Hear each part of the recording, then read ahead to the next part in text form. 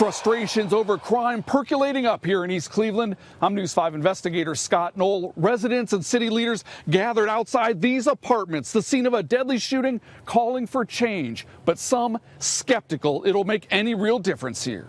Who we here for? Giorgio Mason. Standing in the parking spot where neighbors say Walter Giorgio Mason was shot and killed, friends, activists, and East Cleveland community leaders gathered, calling for an end to the violence that claimed the life of the 65 year old last week. I said that man was a good man.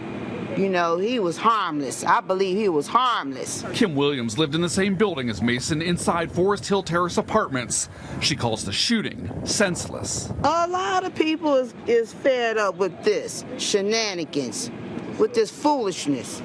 It's ridiculous. Police haven't released a motive in the shooting, but neighbors believe it started with an argument, quickly turning into the kind of trouble people living here are fed up with. every single day. You got to go in and close your door. You can't come out.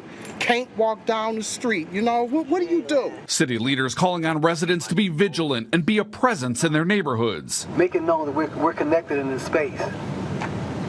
And so that when they're out of order, out of line, or just visiting with malice in their hearts, you know, show them some love in a way that make them want to leave because it's a loving, kind, loving and kind space. But in a city where some say safety has retired, The crime is like co- clockwork. it's that common. Yep.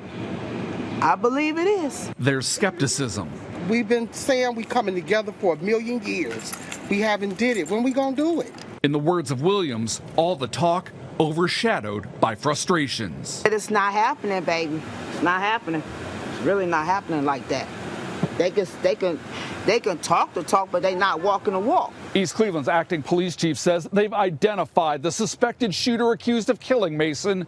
Police say they have an arrest warrant for murder for Alan Griffin. They're asking him to turn himself in. In East Cleveland, I'm News 5 investigator Scott Noll.